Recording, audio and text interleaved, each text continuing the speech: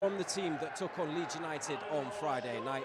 In comes Willy Kambwala, James Nolan, Dan Gore, Maxi Oyedele and Shola Shoretire. 10 minutes into the game and the home side almost opened the scoring. Fullback Josh Papula found himself high up the pitch, latching onto a bouncing ball, but Eli Harrison was quick off his line to apply the pressure and Papula couldn't convert the rebound into an empty goal.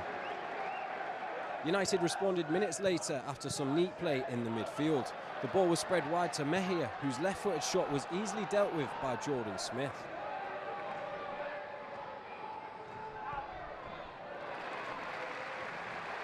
Mateo Mejia was beginning to look dangerous for United, involved once again after Dan Gore's driving run found the winger, who took his first shot first time but couldn't find the target.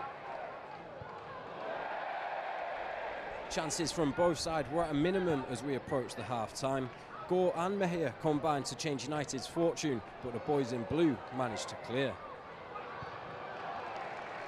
Seconds later, and United had won a free kick right on the edge of the Stockport penalty area. Shola Shoretire stepped up for what would be the last kick of the half, but couldn't take advantage. A change of shape for Stockport saw them move into more of an attacking formation. However, the second half started very much the same as the first ended. Mejia delivering the ball into the box from the right-hand side onto the head of Hugill. On the hour mark, Manchester United introduced Ethan Williams to the game. Two minutes later, and Williams was brought down by Akil Wright in the box, enough for the referee to point to the spot.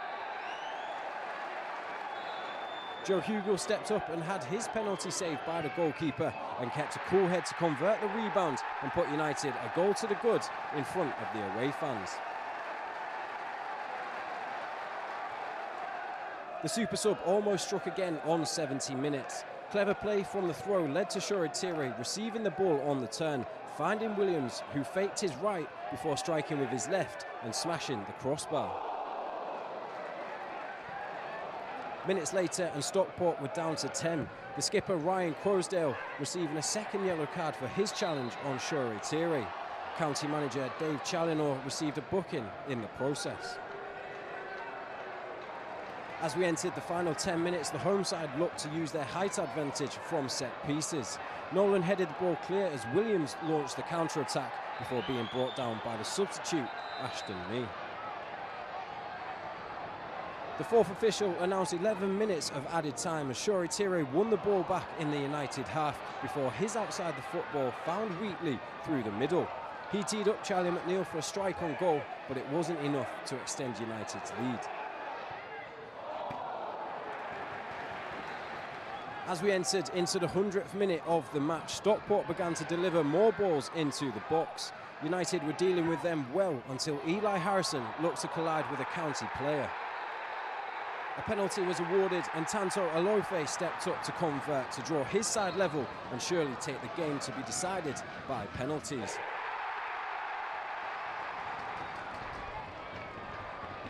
United won the coin toss and chose to shoot in front of the away fans. It was Charlie McNeill who stepped up first and fired his shot into the top right corner. Evans then scored for County. Shola Shoretire showed a calm head with his spot kick. Louie Barry then equalised. Nolan found the top corner for United. Ryan Rydel was next for County and had his penalty saved by Harrison. Ethan Williams then stepped up and converted to put United in the driving seat. Minutes after scoring his first, Olaofe scored his second penalty of the game. Ethan Wheatley then stepped up with the pressure penalty for United to send the goalkeeper the wrong way and confirm the win for the Reds.